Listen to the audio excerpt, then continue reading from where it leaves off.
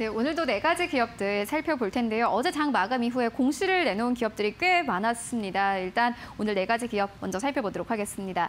첫 번째 기업은 NC소프트입니다. 어제 자사주 취득 소식이 있었습니다. 3년 만에 자사주 매입 공시를 내놓았는데요. 어제 장 마감 이후에 1,890억 원을 들여서 30만 주를 취득하기로 했다라고 공시를 했습니다. 하지만 이 주식 수는 그리 크지는 않습니다. 유동 주식의 1.6% 수준이라고 하는데요. 효과는 크지 않을 것 것이다라는 업계의 현재 전망들 나오고 있습니다. 그리고 업계에선 현재 리니지 W 성과 전에는 투자 심리 회복이 어렵다라는 투자 의견을 밝히기도 했는데요.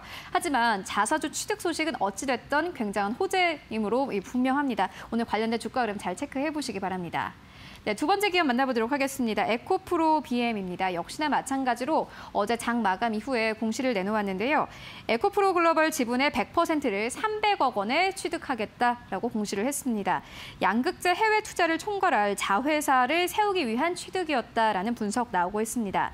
예, 최근에 에코프로 BM 측에서는 양극재 29만 톤 확대 계획을 밝힌 바 있는데요. 일단 증권사의 커멘트도 굉장히 좋습니다. 성장성과 수익성이 모두 좋다라면서 목표 주가를 상향 조정했습니다. 역시나 마찬가지로 에코프로비엠의 주가 흐름 잘 따라가 보시기 바랍니다.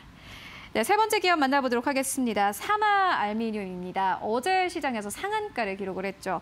예, 최근에 알루미늄 가격이 10년 만에 최고치를 기록했다라는 소식과 함께 연동해서 주가가 계속해서 상승 탄력이 붙고 있는 기업입니다.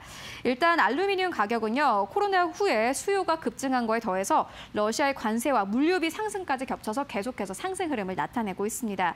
일단 우리 증시뿐만이 아니라 뉴욕 증시에서도 마찬가지로 알루미늄 테마가 초강세 흐름을 나타내고 있는데요. 일단 최근 우리 시장에서는 증권가에서는 사마 알미늄 상승 탄력이 그리 크지는 않을 것이다라는 투자 의견을 밝히기도 했지만 글로벌 투자 은행의 의견은 좀 달랐습니다. 빡빡한 수급으로 가격은 더 갈 수밖에 없다라는 투자 의견을 밝혔는데요. 관련된 흐름 잘 체크를 해보시기 바랍니다. 네, 이어서 네 번째 기업 만나보도록 하겠습니다. 한국카본입니다. 역시나 마찬가지로 어제 장 마감 이후에 공시가 하나 나왔습니다. 계약과 관련된 공시였는데 이 478억 원 규모의 보냉자재 공급에 대해서 계약을 맺었다라고 공시를 했습니다.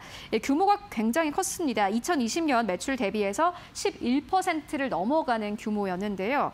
예, 최근에 한국카본은 8월에도 역시나 마찬가지로 한 가지 공시를 내놓기도 했습니다. 이스라엘과 함께 미국의 걸프 스트림의 항공기 구조물 공급 계약을 체결했다라는 소식을 예, 전해준 바 있습니다. 10년간 290억 원의 공급 계약을 체결했다라는 소식을 전한 바 있는데요.